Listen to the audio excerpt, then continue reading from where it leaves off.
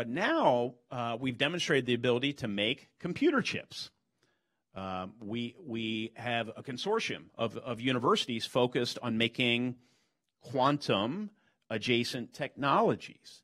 So the industries of the future are coming to the industrial Midwest, and it's not sleepy. I think a lot of your prime business school graduates and many others who may not even choose to go to college will be working in these industries uh, in coming years. And you just have to hope that the government, in implementing it, keeps its interest, right? I mean, that's the big challenge is that is that administrations change, Congresses change, and you have to make sure that you follow through on these things politically, right?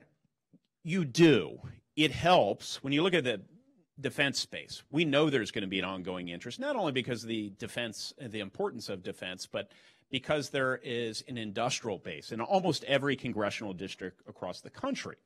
Well, the research piece of chips and science doesn't get a lot of attention, but it was $200 billion in authorization. The actual chips part was only $52 billion.